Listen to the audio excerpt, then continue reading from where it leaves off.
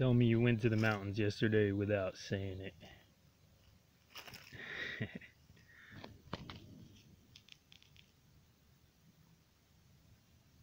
the other side doesn't have a kickstand and that bolt on the peg is fucking halfway gone.